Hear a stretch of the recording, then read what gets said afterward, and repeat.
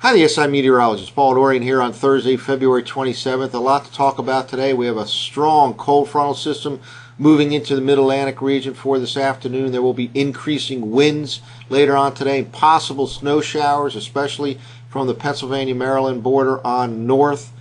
Behind the frontal system, Siberian air will pour into the region overnight. Temperatures will drop to the single digits in many areas along the I 95 corridor and struggle to pass 20 or 22 degrees or so tomorrow afternoon, which is some 20 to 25 degrees below normal for this time of the year.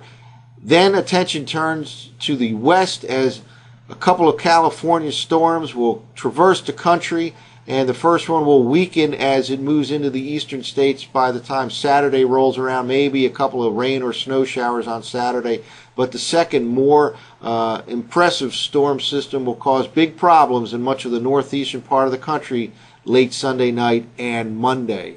We'll get into that in a moment or two. Here's the latest infrared satellite imagery loop from the SSEC Wisconsin website. First of all, a lot of moisture across the Gulf of Mexico uh, pushing uh, well south and east of the I-95 corridor here from D.C. to New York City. But notice this little spin in the atmosphere over the eastern Great Lakes. This is associated with a strong upper level feature and a strong cold frontal system that is dropping south and east. And it'll be definitely noticeable around here this afternoon when that front arrives because winds will gust up to 35 or 40 miles per hour. Again, there can be some snow showers and maybe even from the northern suburbs of Philadelphia, north and east, a, a, couple of heavier snow squalls. Certainly, some snow squalls are possible. Upstate Pennsylvania, for example, in the Poconos and the mountains of central Pennsylvania, as this Siberian air mass finally arrives in the Mid Atlantic region, and temperatures absolutely plunge tonight down to the single digits in most locations.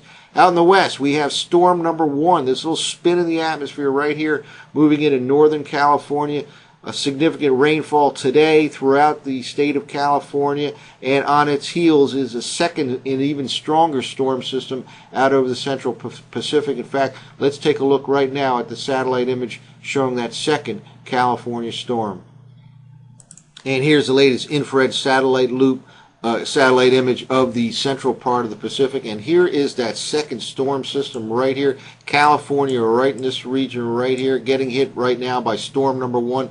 This second storm is very impressive. Notice the long fetch of tropical moisture feeding into this. Probably low pressure centered right around here with a frontal system extending out like that. And by the way, on its heels is another storm system we may have to deal with here in the eastern U.S. later next week, but more on that as the days progress. But a second very impressive storm system right now over the central Pacific could bring big problems to the northeastern part of the country come late Sunday night and Monday.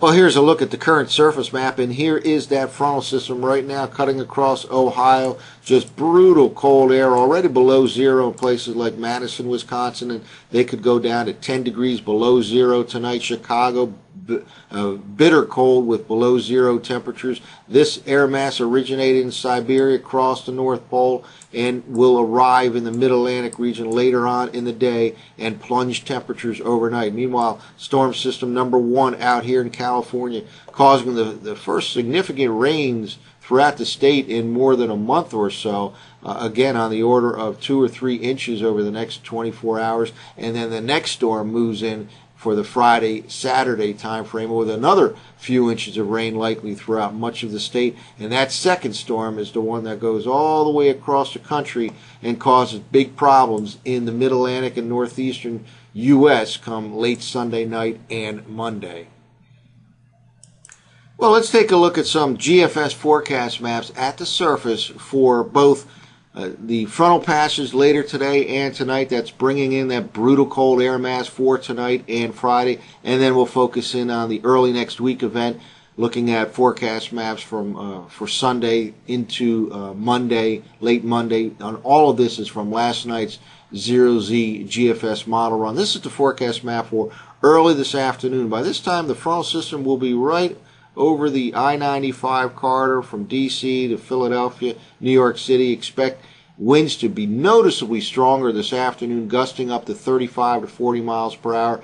a lot of precipitation in the mountains, and some of this may very well make it to the suburbs of Philadelphia, for example, especially the northern suburbs, in the form of snow showers. And from maybe the Bucks County north and east, there can even be a heavier snow squall or two. Maybe a snow shower makes it all the way down to DC, but the most likely area for snow showers associated with this strong frontal passage will be north of the Pennsylvania Maryland border from the northern suburbs of Philadelphia all the way across to New York City. The best chance will be in the New York City region as far as the I 95 corridor region is concerned. And then temperatures just plunge tonight.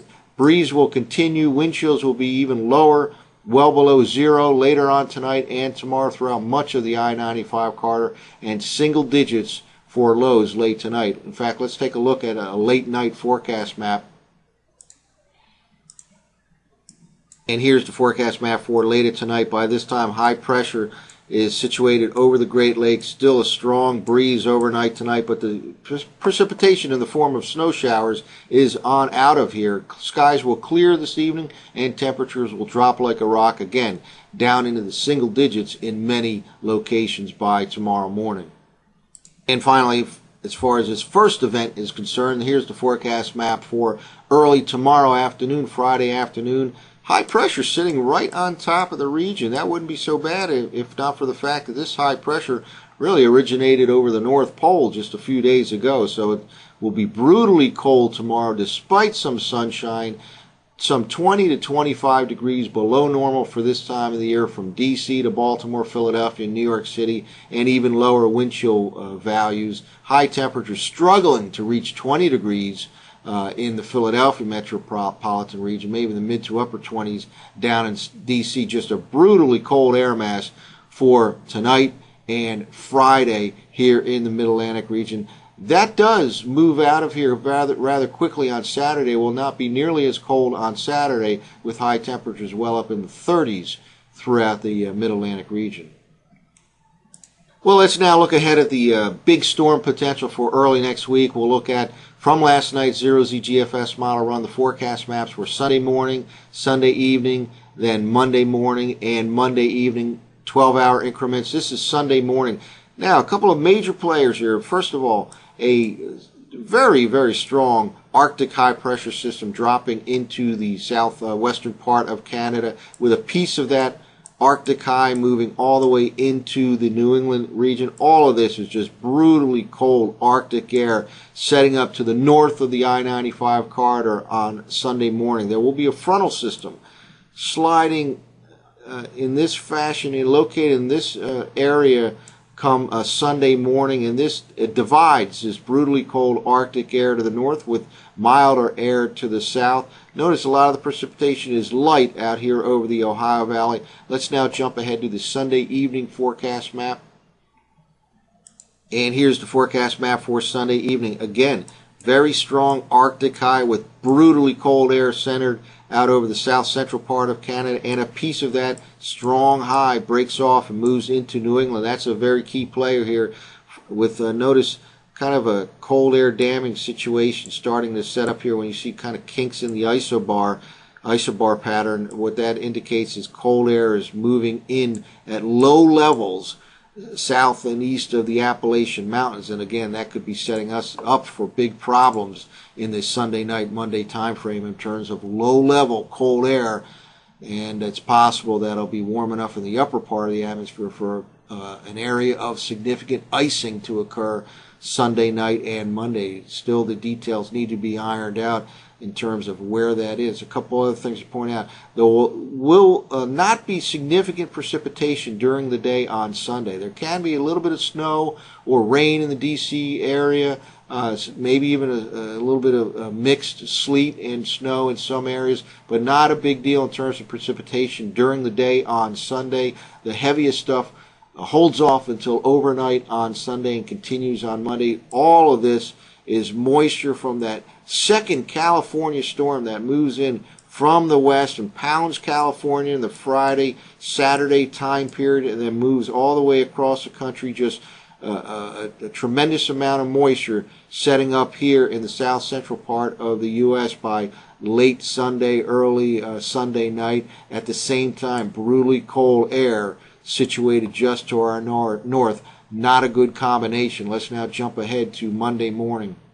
And here's the forecast map for Monday morning. Still high pressure situated up to the north all the way across from south central Canada into southeastern Canada. This is a crucial player here because this is anchoring that brutally cold air mass. The front has slid to the south here now, uh, down even south and east of the uh, DC metro region here during the day on Monday. Basically, colder air will be slowly filtering in, and it's possible the precipitation begins as rain in the DC metro region, changes to ice during the day on Monday, and ultimately that could change to all snow. From the Pennsylvania Maryland border, odds favor frozen precipitation, perhaps a significant snow event in uh, the suburbs of Philadelphia. It's still too early to call. That could be significant snow and or ice. It's the last thing we want to hear uh, about in southeastern part of Pennsylvania. But an ice storm is on the table here. Places like the Poconos,